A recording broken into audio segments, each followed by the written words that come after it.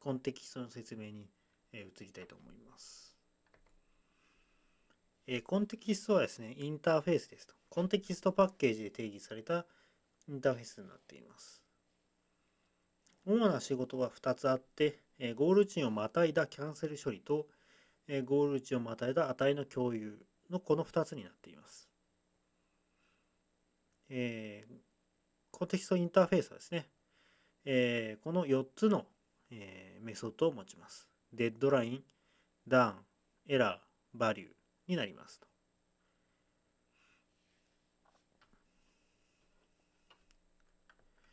で、えー、コンテキストの、えー、歴史についてちょっと説明していきますと、まあ、歴史とは何なんだと思うかもしれないですけど、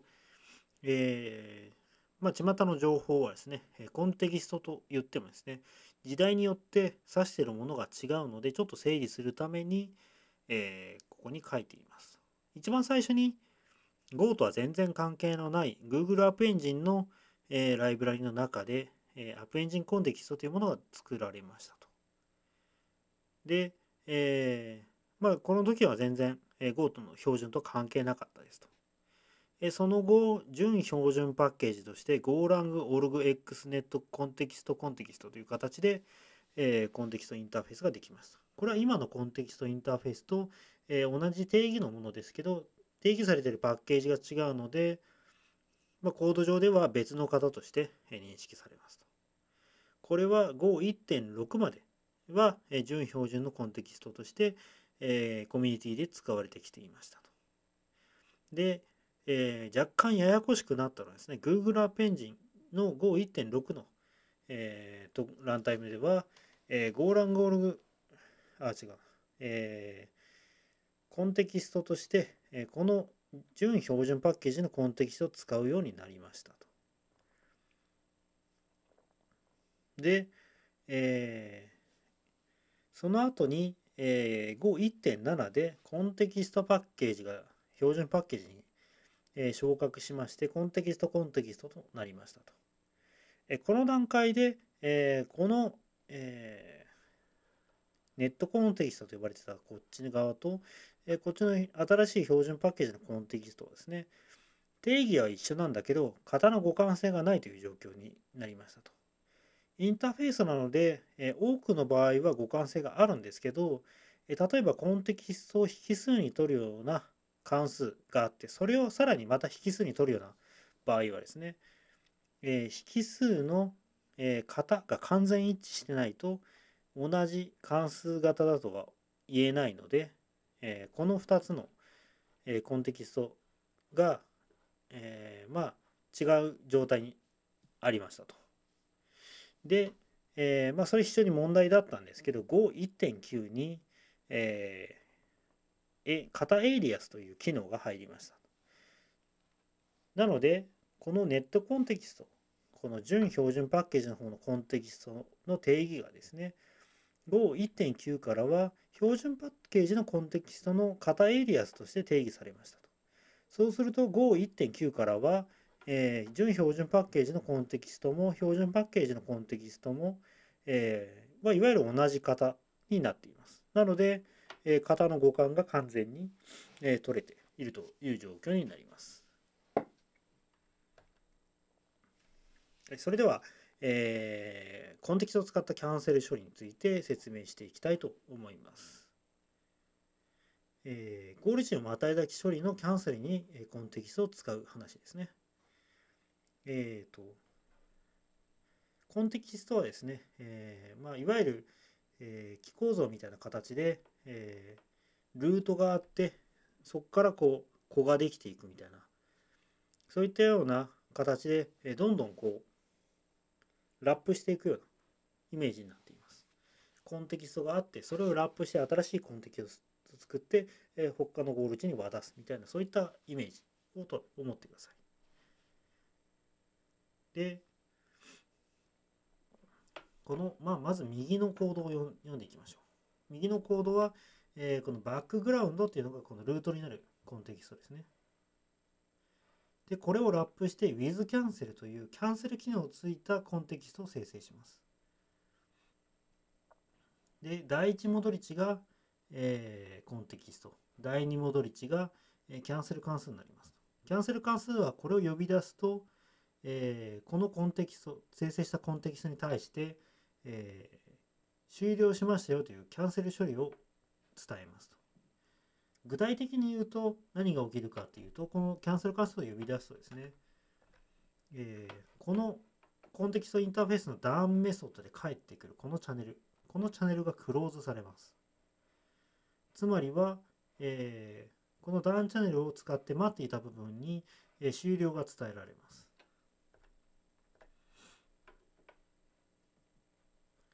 で、まあ、それを踏まえて、えー、このレフォーレンジのところに行くと、あ、質問ちょっと答えましょうかね。ルートのコンテキストは基本的に1つですね。あの、ルートっていうぐらいなので。まあ、そこから分岐していくというか、まあ、ラップしていっていう感じですね。まあ、1個のラップしかしない場合もありますし、2つのゴール値に分ける際にですね、こう、こっち側このラップ、こっち側このラップという形で分岐しちゃう場合もあるので、まあ、機構造っていうのが正しいかもしれないですね。機構造は必ずルートが1個あるという感じなので。で、えー、このフォーレンジのところ何してるかっていうとですね、この、このフォーレンジよく見ると見たことない、えー、ものになってるかもしれないです。え実はフォーレンジはですね、まあ、最初の頃に説明したかもしれませんが、えー、このレンジのところにはスライスとかマップの他に、えチャンネルも取ることができます。チャンネルを取った場合は、えこのここに書いたチャンネルから値を1つずつ取り出して、この変数に入れてループを回るというようなことをします。で、この gen っていう関数がですね、呼び出すとですね、まあ、左に定義書いてありますけど、えー、チャンネルが返ってきます。なので、この返ってきたチャンネルを使って1つずつ値を取り出して、それをプリント入れるして、もし n が5の場合はブレイクしましょうということになりますと。で、えっ、ー、と、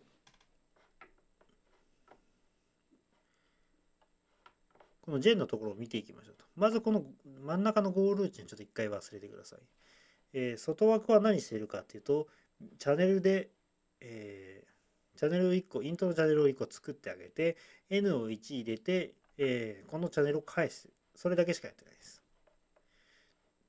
なので、J を呼び出した段階では、えー、このチャンネルが作られてリターンされますよと。それだけですと。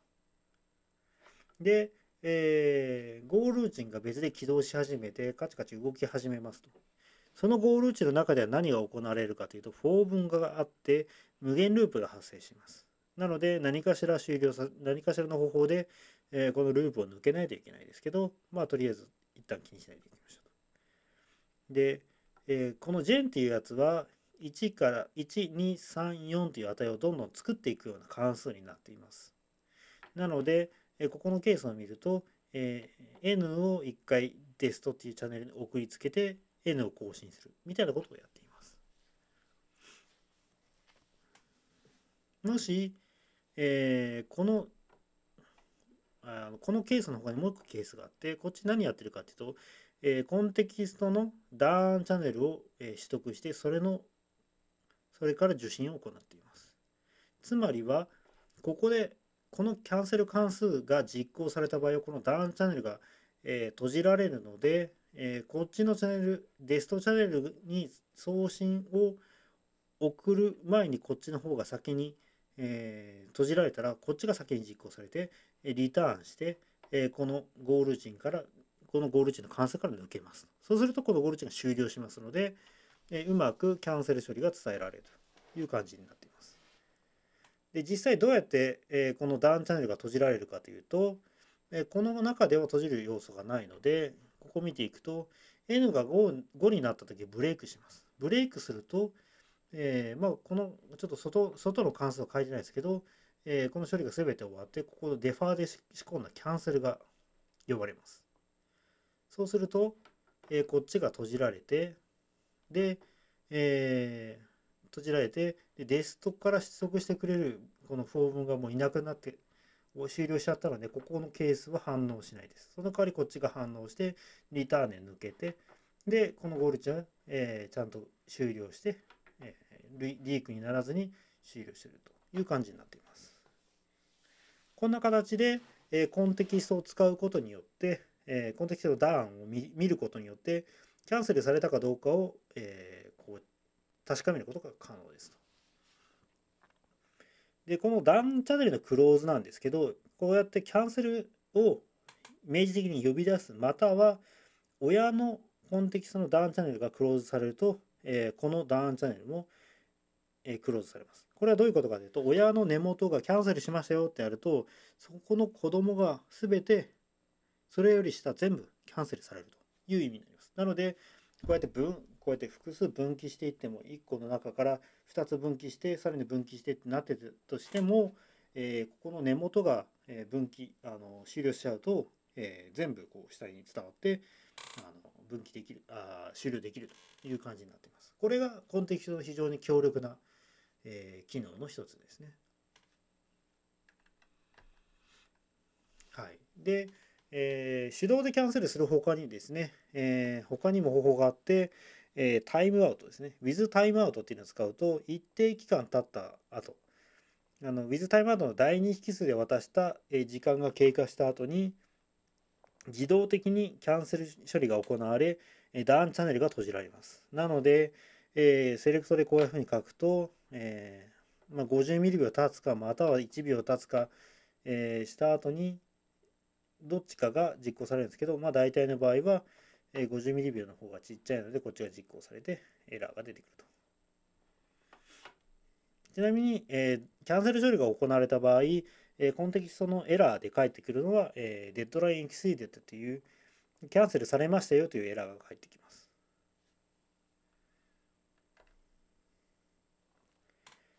まあ、えー、キャンセル処理についてはここまでで、えー、値の共有の話をしますと。コンテキストには値を持たすことができますと。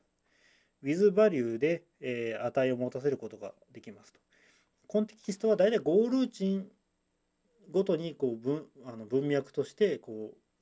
う文脈が変わるような、えゴールーチンの場合はこう分裂して別のあのラップしたコンテキストを渡すんですけどそのゴールチェンの間でこう値を共有するためにこの WithValue が使えます。えー、どうやって使うかっていうとですね、えー、コンテキストに対してコンテキストパッケージの WithValue という関数を呼び出してキーとバリューを指定します。キーについては任意の方ですね、エンプティインターフェースで受け取るので、どんな方の、えー、ものでもキーにすることができます。で、バリューも同じですね。どんな方の値でも大丈夫ですと。ただ、えー、キーにする場合はですね、え、必ず文字列とか他のパッケージで生成できるような値のキーを用いてはいけませんと。なんでかっていうと、えキーが、あのキーがぶつかるとですね、上書きされてしまう可能性があるからです。え文字列で、えやってしまうとですね、別のパッケージがもうまた文字列で同じ名前のキーをたまたま、え設定してしまう可能性があるので、やるんであればここに上がってるように、エクスポートしてない型を使って、まあ、通常は empty struct にします。 empty struct にするとメモリを無駄に消費しないので、それを使って、この型の値を生成して、キーとします。これは値に意味があるわけじゃなくて、型が意味あるという感じですね。この型の値は、このパッケージでしか作れないので、こうしていますと。で、この場合はですね、フラグを使いたいので、値についても empty struct にしてます。true or false にしてもいいんですけど、キーが設定されてるかされてないかっていう情報だけで十分なので、えー、 empty struct になっています。で、えー、without cache っていうのが、えー、コンテキストに対して、えー、何かしらのフラグを立てると。で、このフラグは何をやってるのかっていうと、えー、とあるリクエストが来たときに、そのリクエスト以降の、そのメムキャッシュのアクセスを全て無視するかっていうような設定を行うようなコンテキストになっています。で、実際これは私が、えー、プロダクトコードの中で書いたコードで、えーまあ、例えばメムキャッシュのところにラッパーを作っておいてメムキャッシュに直接メムキャッシュにアクセスするんだけどコンテキストにこの、えー、ウィザードキャッシュっていうのが仕込まれていたらメムキャッシュにたとえキャッシュが載ってたとしても、えー、キャッシュキャッシュがなかったよってふりをしてエラーを返すというような実装にしておけばとあるリクエスト以下のメムキャッシュのアクセスを全てキャッシュを無視するっていうことができますと。そうすると何が嬉しいかっていうと、なんか例えばなんかデバッグをしていてですね、あの一生懸命調べてたのに最終的にあなんだキャッシュじゃねえかみたいなものって結構あると思うんですけど、え、そういったものを避けるためにああらかじめキャッシュを見ないみたいな、まあ、Chrome のデブツールにある Ignore キャッシュみたいなやつと一緒ですねをしますそのために、えーと、と Wizard キャッシュでフラグを立てて、えー、イグノアキャイグノアドキャッシュで、えー、フラグが立ってるかどうかを調べますと。イズイグノアドキャッシュは、えー、without, without キャッシュキーといういう値を使ってキーをアクセスしてあげて、えー、その値が2ルじゃなければつ、つまり何か値が仕込んであれば、えー、true を返すようにしております。もうこうすることによってわざわざ true or false の値をですね、えバリューとして設定しなくてもですね、えー、フラグが立ってるかどうかっていうのは確かめることができますと。で、えー、必ずこのキーを公開してないのでですね、えー、設定する場合のセッターはもちろんこうやって Without Cache っていうのを用意してあげて、えー、そこから、えそのフラグが立ってるかどうかを取るようなゲッターに値するこういうやつも作ってあげると、えキーを公開する必要なく、えコンテキストに値をえ埋め込むことが可能です。で、コンテキストの注意点としては、えー、構造体のフィールドなどに、えー、保存しない方が良いですと。コンテキストはラップされる可能性があるので、値が変わる可能性があるので、えー、フィールドに保存しているとですね、いつの間にかそのコンテキストが古くなるという場合があります。なので、基本的には引数の第一、まあ、関数の、関数とかメソッドの第一引数に受け取るっていうのが、えー、Go の、えー、イディオムとしてよくありますと。で、えー、コンテキストのの中に値を入れたい場合はですね、リクエストキーのみの、キーのデータのみを保存してください。えーと、リクエストが送られてきた、えー、ヘッダーの値を、えー、パースした情報とか、そういったものに限ってください。なので、えーえー、コンテキストがですね、ゴール値をまたいだ便利なグローバル変数になるようなことにならないように、えー、節度を守って、えー、コンテキストに値を設定してくださいと。でバリューとして保存する場合はですね、えー、キーは外に出さないでください。これはさっき言った通りですね。型を作ってエクスポートしないと。で、えー、値を取得するための関数を作って、えー、直接的に、えー、バリューを取ってくる、このバリューを取ってくるような処理を書かないと。